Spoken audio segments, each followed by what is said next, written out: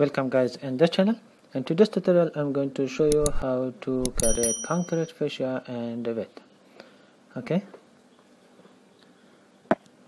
So uh, let's create a wall in here. Uh, maybe a wall something like this. Think that. Uh, it's a small room. So let's okay let's see in 3d let's have one like this. And now component and model in place and from here just find the wall. Okay. And okay. So uh, use the sweep click the sweep and then pick path. And select all the the wall around in here that you want to create fascia for that. And you have to make sure to join all the this line. I'm going to use trim and extend okay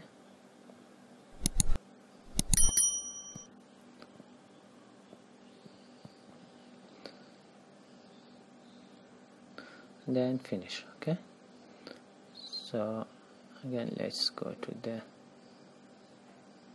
uh, maybe yeah frontal vision. And I'm going to create my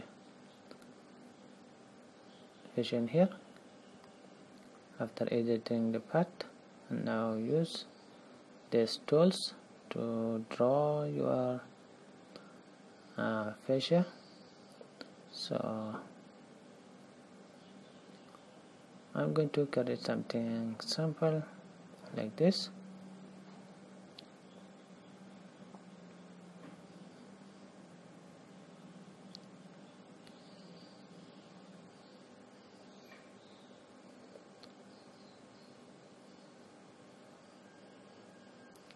Maybe 60 by 60 again 60 60 and 60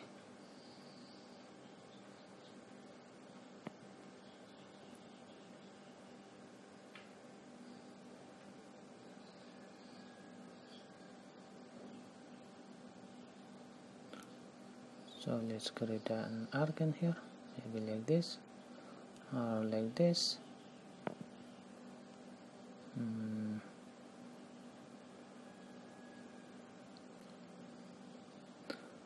You can create different kind of fascia so I just want to create something simple like this to show you how to create fascia in Revit okay? So maybe like this and here okay? Maybe like this okay? After cutting click to finish and then again let's finish okay? Here we go. This is how to create concrete fascia and Revit if you like tutorial like this subscribe the channel to get more tutorial like this. Thanks for watching